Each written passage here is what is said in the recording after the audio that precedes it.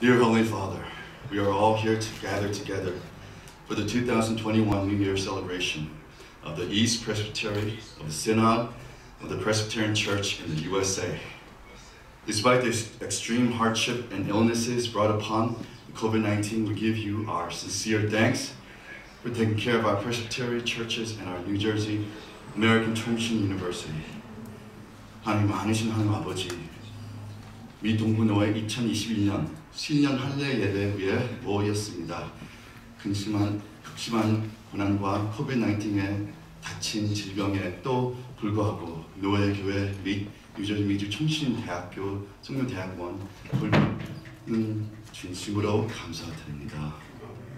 May you continue to bless the East Presbytery Synod of the East USA, to becoming the presbytery staying true to the gospel of Jesus Christ, and raising up leaders to preaching the word of God from the local churches to the mission fields abroad.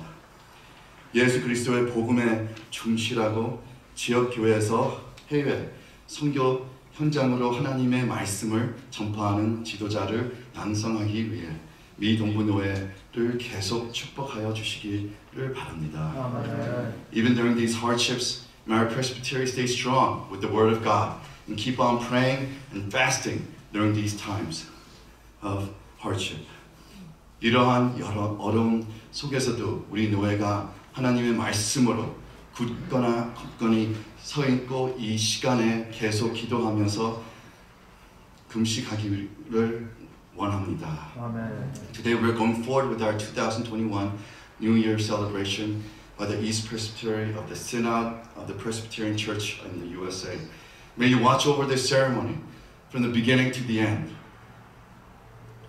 오늘 미 동부노회 2021년 신년 할례 예배 진행하고 있습니다. 처음부터 끝까지 인도하여 주시기를 바라, 바라오면 우리 예수 그리스도 이름으로 기도합니다. 아멘.